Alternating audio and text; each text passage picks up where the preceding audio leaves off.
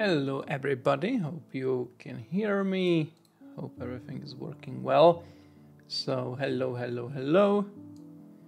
Uh, it feels like Christmas. It's the final day of Advent of Code 2023, even though it's June of 2024. It doesn't matter.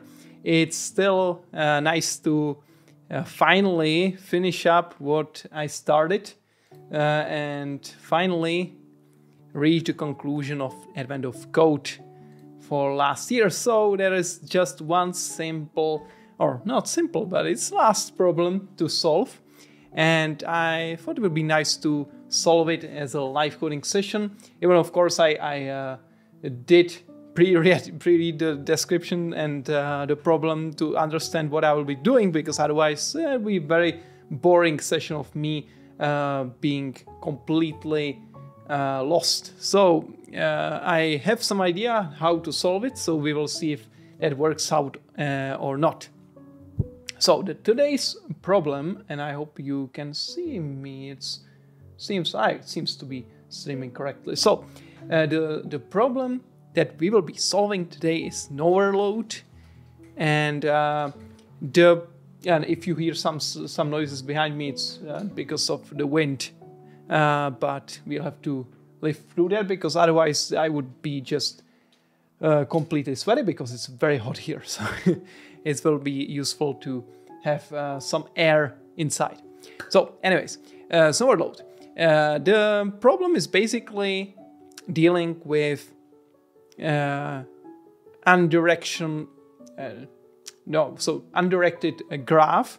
Basically, have a graph of different nodes in a system, and we have a wiring diagram which tells us which nodes are connected to which other nodes. So uh, basically, the input looks like this. We have a node JQT connected to these nodes, and so on. So it's basically a list of nodes connected to other nodes. And our goal and our task here is to figure out uh, which connections we need to break so that those uh, nodes break up into two large groups. And once they do, uh, we need to multiply the sizes of those groups to get the, uh, the solution to the problem. And uh, basically, this tells us that when we disconnect some free wires, it breaks up the graph into two components that are completely unconnected and each component will have some specific size. And this, this problem is kind of complicated because it's not just a single wire. If it was just a single wire, you would have to just find the, that single wire that, that will disconnect the two uh, components. But it's two. Uh, it's not uh, not just one. There's not two. Not, not, just two, but three wires that we need to cut, which makes uh, things a little more complicated, so to speak. So we need to figure out a better way to do it.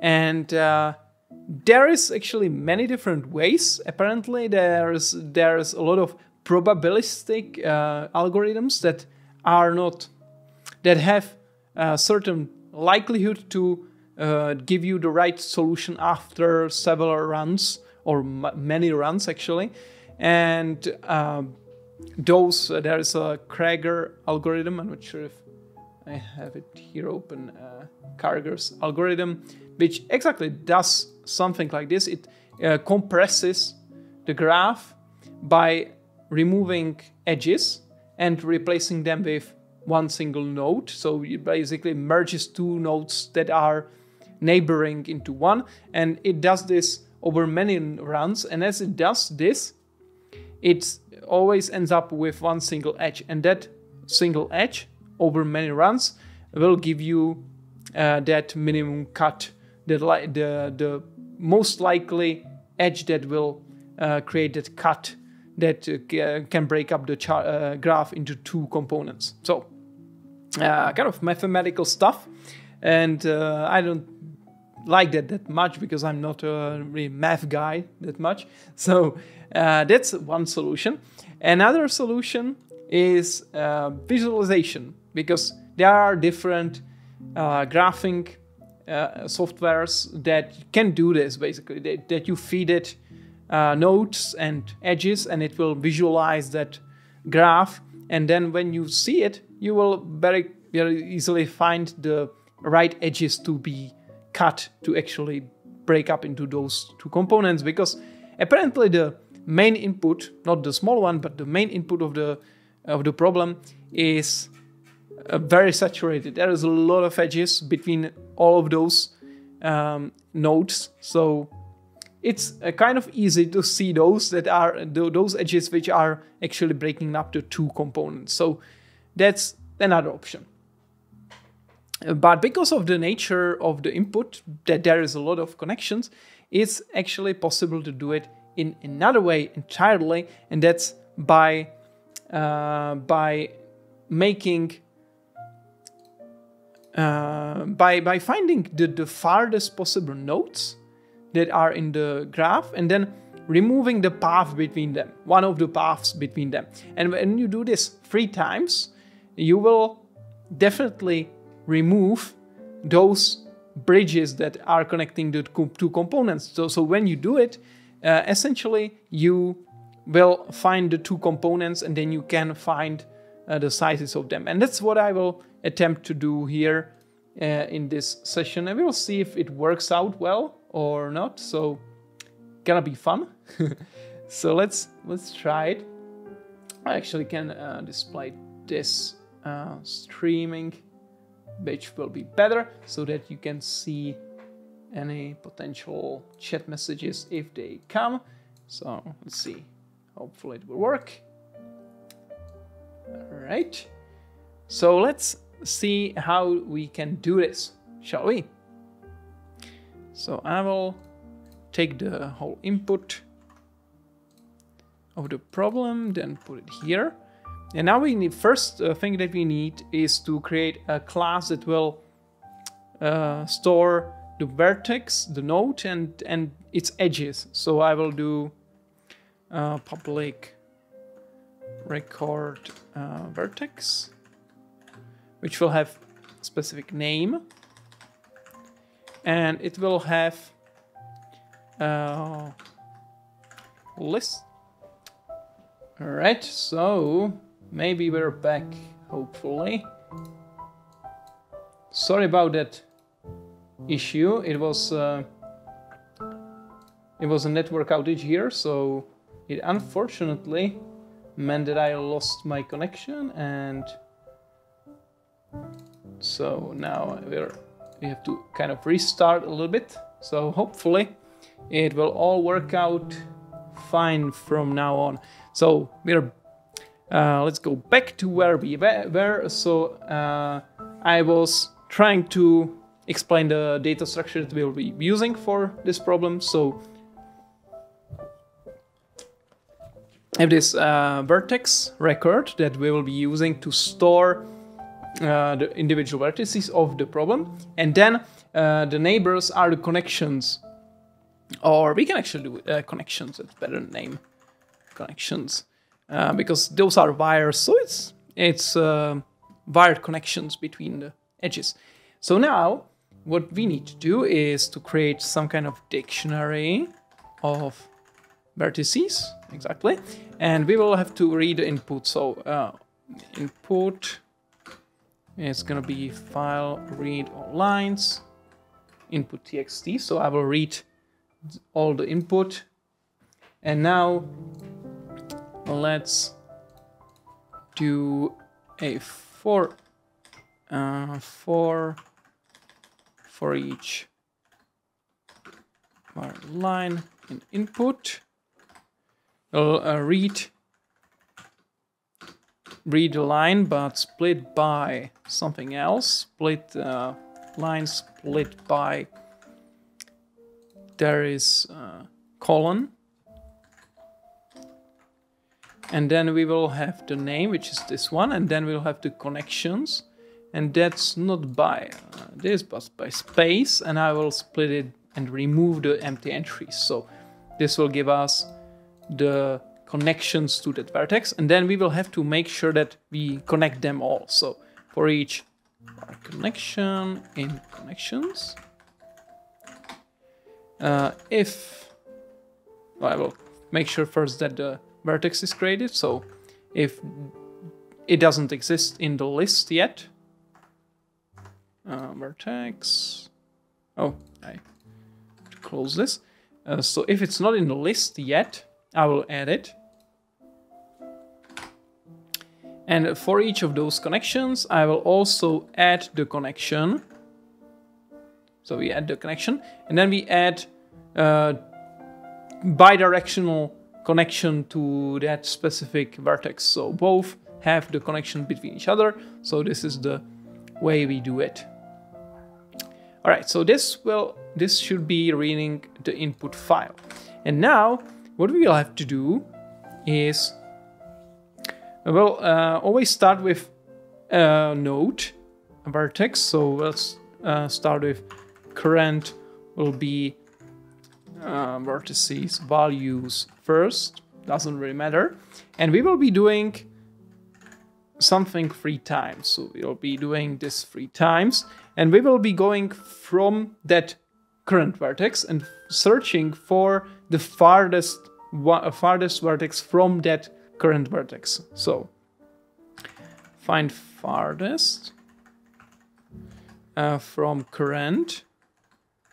And we will uh, as a return of that we need to know which vertex is the farthest. And we need to know uh, which connections we took to get there I think yeah? So let's just uh, think through that we need to so it's gonna be the farthest and path. So that would be like the return. And uh, we have the we'll have vertex farthest. And it's gonna then we have a path of path like this. Farthest uh, from source. So uh, I don't I'm not sure what this is but let's see what it generated. Sometimes it's useful at least parts of it. So we have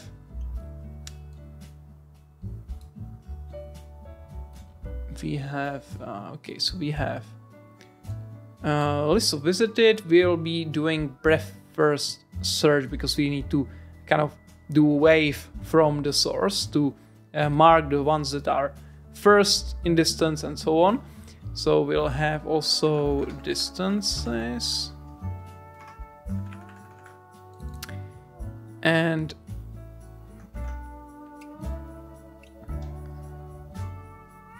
yeah so that's weird. Uh, that should definitely don't need this thing. And I would say we would like to have something like a vertex or dictionary previous yeah so we are get getting or not really this way maybe Yeah, yes, that's fine. So we need to for for a given vertex, we, need to know where we were before we get we got there. So we need distances. We need uh, something to mark the farthest so far, and we need to figure out. Yeah, we'll be pushing uh, not this. That's ugly. Let's just push the vertex that we are processing, and we need to tr keep track of what uh, vertices we already visited. So queue source.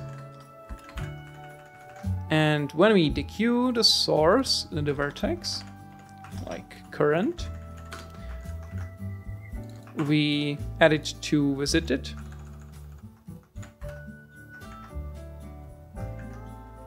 Yeah, I've uh, they are actually there on YouTube. You can find them on my profile. There's actually a playlist uh, specifically with all the Advent of Code videos. Uh, let's see. Should be. Where do I have it? There's a playlist on my profile which is called Advent of Code 2023, and then you will find all of them uh, neatly arranged uh, one after another. So you, that should be all you need. All right, so then let's continue here. We have the visited ones contains current, then we continue, otherwise we add it. And then we'll be go going through all the possible connections to add. And well, I guess I also have to set the distance, so distance, uh, right. And previous for sources now, and distance is uh, source is equal to zero.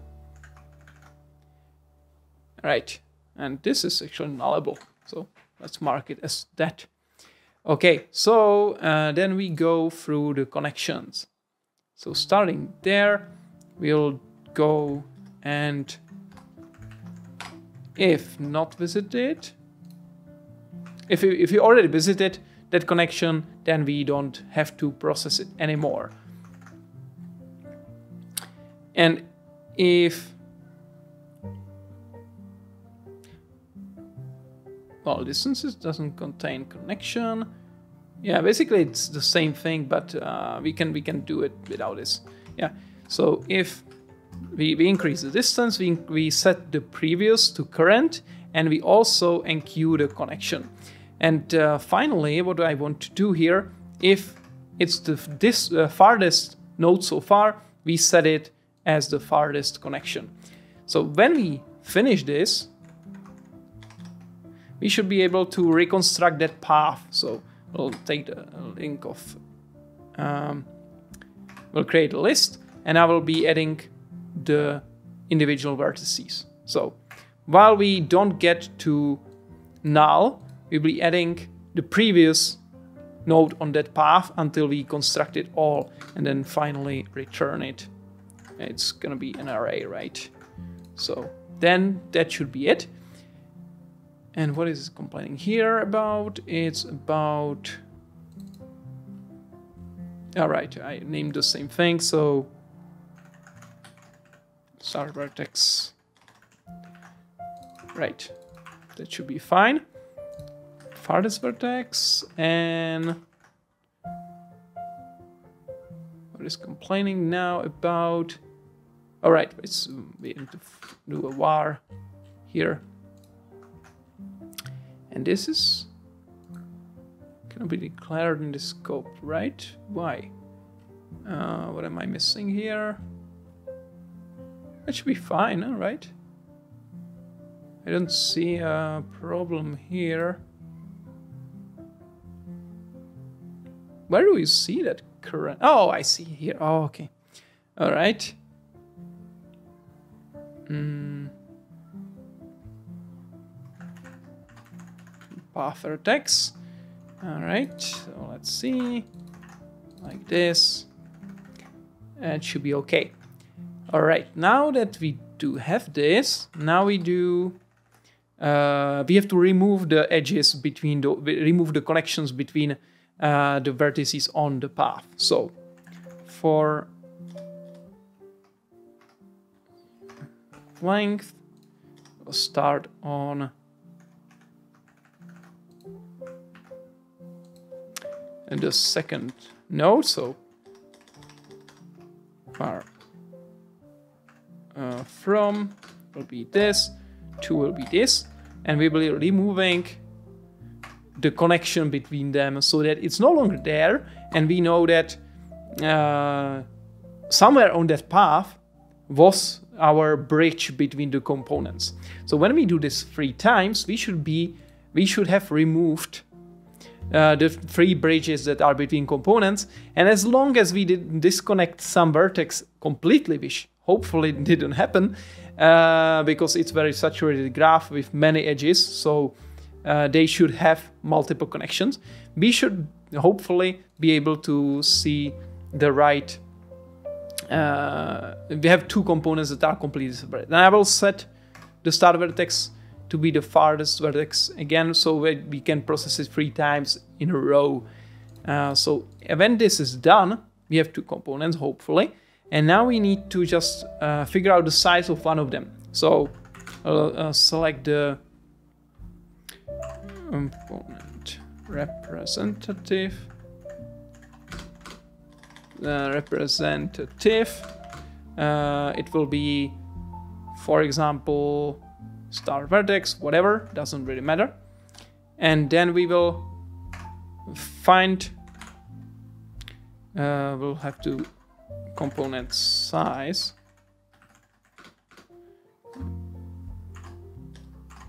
Calculate component size with that component representative. And then when we uh, fin finalize the uh, calculation we need to multiply that with uh, vertices count minus component size because we need to calculate uh, we multiply it with the size of the other component that we have. So now the only thing that remains is to implement this method, which will be calculating the size of the component. Let's move it down there so it's uh, neater.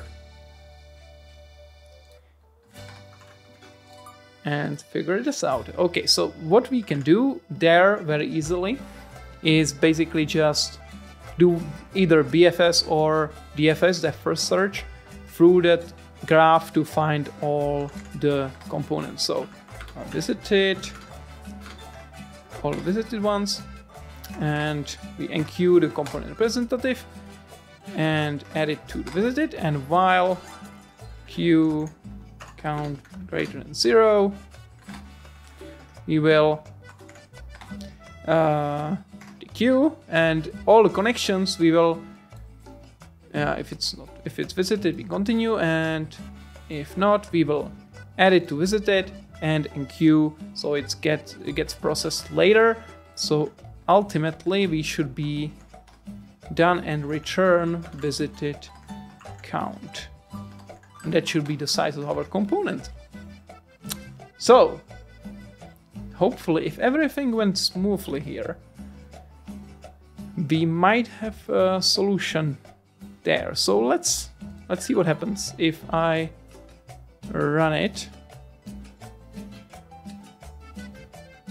Minus six, that's definitely not right. So let's see what's happening there. Minus six, that's weird. Uh, let's see.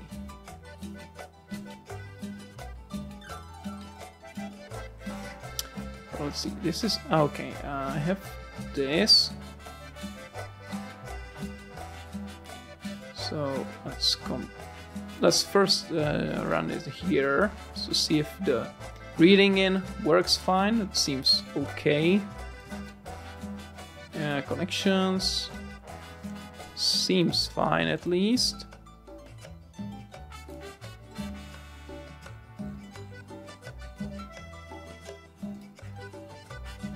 So that's okay.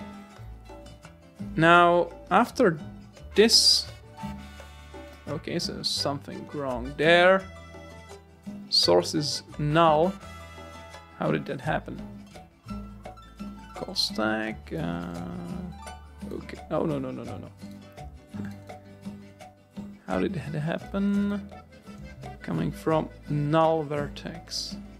Okay, that's interesting. So something is happening incorrectly there.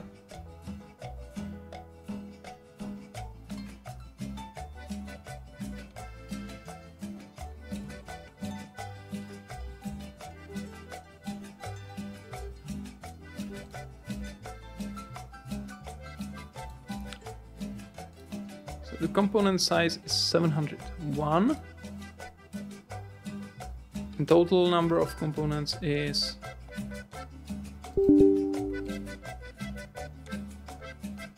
Oh, so seems.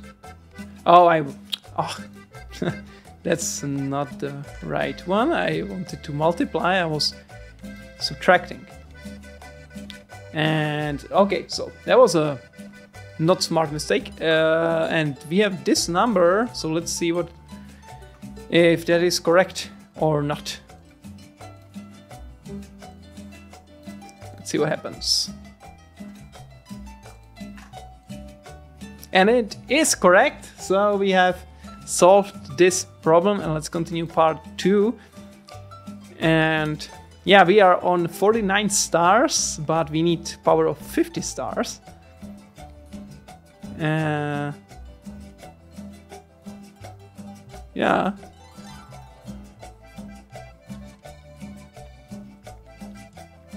Okay. So that's uh, fine. We can restart the system and push the big red button. And we are done.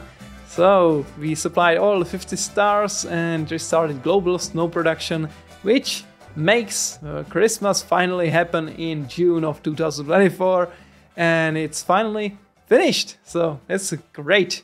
I'm very happy that uh, it finally all came together, even though it took me quite a while.